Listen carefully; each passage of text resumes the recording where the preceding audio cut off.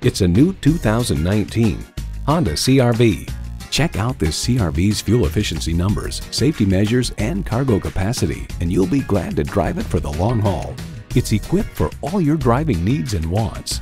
Intercooled turbo inline four-cylinder engine, dual zone climate control, streaming audio, digital instrument gauges, front heated bucket seats, doors and push button start proximity key, external memory control, power sliding and tilting sunroof, remote engine start, and power heated mirrors. Honda's created some of the most admired vehicles on the planet. Driving is believing. Test drive it today.